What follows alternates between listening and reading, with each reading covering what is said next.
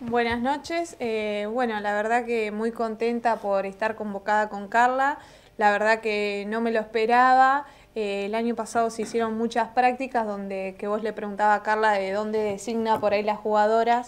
Se hicieron muchas prácticas en diferentes lados, Córdoba, Santa Fe, y ahí, bueno, el técnico seleccionó jugadoras para ir al Mundial de China donde consiguieron cinco medallas y bueno, ahora como Argentina quedó primera de América, tiene la posibilidad de participar en este mundial que es en Turquía. Y bueno, en esta oportunidad le vuelve a tocar a Carla y a mí por primera vez.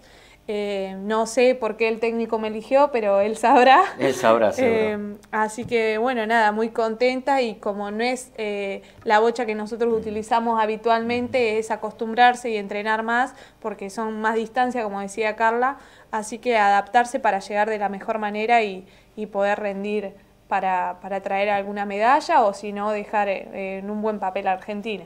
Lo que uno, o por lo menos en mi caso, quiero conocer es eh, yo a Carla la conozco por ser del pueblo. Eh, yo recuerdo que iba a hacer nota a su mamá y ella tenía dos años y estaba a la par de la mamá. Y yo siempre sabía, en son de broma, le decía este, a Mariela, decir, bueno, eh, supongo que irá a jugar bocha y supongo que sí. Y después los tres años, los cuatro años andaba con una bocha y hoy, gracias a Dios, tiene la suerte de estar en Turquía y otros mundiales más. ¿Tu caso? ¿Siempre jugaste bocha? ¿Tu familia jugaba las bochas o cómo fue? Eh, bueno, en Olavarría sí, mi papá eh, juega, mi tío juega, mi hermano también estuvo en la selección argentina, en un panamericano, y yo, eh, mi papá como que no quería que me acerque, si bien iba a las canchas y todo, pero que no vaya a jugar. Y bueno, un día en una escuelita me sumé y hace cinco años que juego, así que es muy reciente, y, pero me di cuenta que es mi pasión, yo soy profe de educación física y, he pasado por todos los deportes, y, pero nada me ha llenado tanto como las bochas. Así que nada, y hoy, voy por ese Y hoy te apoya, obviamente, ¿no? Estás en el Mundial. Sí, sí, sí, sí, están todos apoyándome, allá en, Olavarría, también el municipio. Eh, yo allá en Olavarría tengo una escuelita que es apoyada por el municipio, así que cada vez vamos a hacer más y, bueno, nos tenemos que ir eh, acomodando a estas nuevas disciplinas que, son internacionales, que es lo nuevo que se viene para mí. Eh, recién hablaba Carla, bueno, de lo que tiene que ver con las prácticas en sí en la cancha, ¿no? Porque hay que tener precisión, hay que tener concentración, hay que caminar mucho. Para eso requiere, aparte de esa técnica, requiere un trabajo físicamente Sí, eh, lo que es el servín es una mezcla de atletismo con precisión, entonces vos para llegar a las pruebas de tiro tenés que estar muy bien físicamente porque tenés que aguantar cinco minutos tirando y si no contás con el estado físico...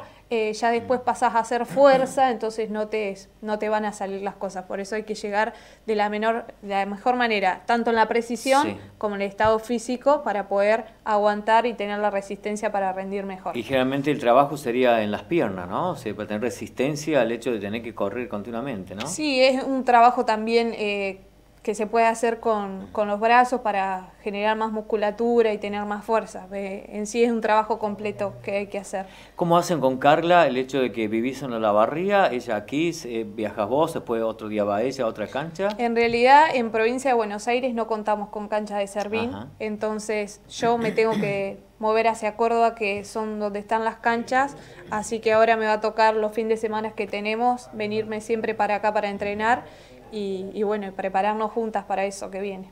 Bueno, yo les quiero agradecer que hayan venido porque en un rato ya tenemos otra nota en vivo y bueno, no va a faltar oportunidad porque tenemos muchos sábados todavía. Hay que cuidarse, chicas, no salgan los viernes, no salgan los sábados porque tienen que llegar bien para noviembre. Muchas gracias por difundir este deporte y bueno, ya veremos que Carla va a tener muchos éxitos allá. Seguramente, y vos también, seguramente, porque el deporte, digamos, las bochas hoy, yo creo que tiene un auge muy importante se nota acá, se nota, hay muchos chiquitos que juegan a las bochas. No ocurría esto hace 4, 5 o 8 años atrás quizás, ¿no? Así que, y esto es bueno también porque gente local como Carla y otros más, y como vos en, tu pueblo también puedan incentivar a este deporte, ¿no? Sí, totalmente. Es una disciplina muy atractiva porque esto que mezcla el atletismo, entonces para que los chicos se puedan sumar, y bueno, acá la tiene a Carla de referente que, que los logros que ha obtenido como para, para que se incentiven a jugar.